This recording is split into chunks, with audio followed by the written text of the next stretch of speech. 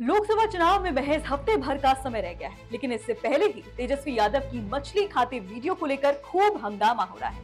हंगामा नवरात्रि के पहले दिन ऐसी वीडियो शेयर करने को लेकर हुआ, जिस पर बीजेपी और सनातनी भड़क उठी। इस बीच तेजस्वी यादव ज़मीन से कई मील ऊपर आसमान में विकासशील इंसान पार्टी के प्रमुख मुकेश सैनी के साथ फिर से दिखे।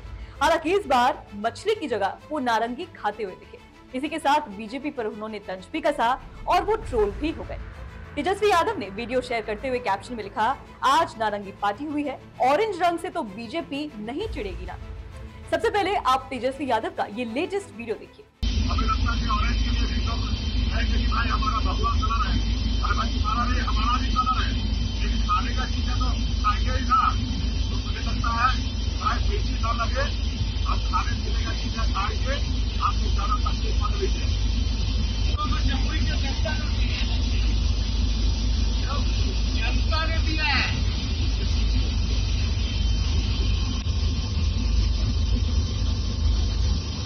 इस वीडियो में आरजेडी नेता सीधे सीधे बीजेपी पर तंज कसते नज़र आ रहे हैं। वहीं जिस वीडियो पर बीते दिनों बवाल हुआ, अब उसके बारे में बात कर लेते हैं। दरअसल बिहार के पूर्व डेप्यूटी सीएम तेजस्वी यादव ने नवरात्र के एक दिन पहले एक्स पर एक वीडियो शेयर किया।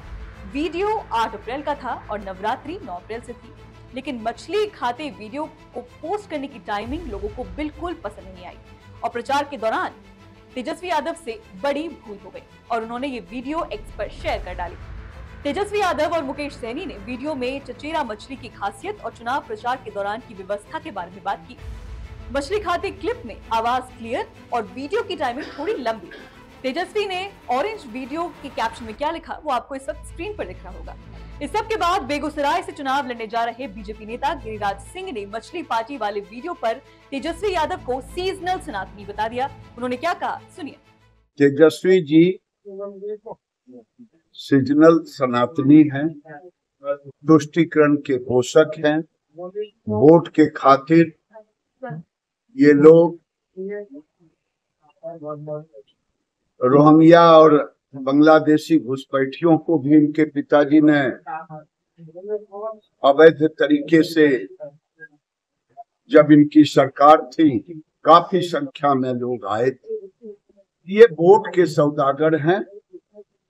न कि ये सनातनी पुजारी, ये सनातन का लवादा ओढ़ करके दुष्टिकरण की राजनीति फ़िलहाल इस वीडियो में इतना ही। इस पूरे मामले पर आप क्या राय रखते हैं, हमें नीचे कमेंट सेक्शन में बताइए और बाकी खबरें जानने के लिए आप देखते रहिए आर भारत।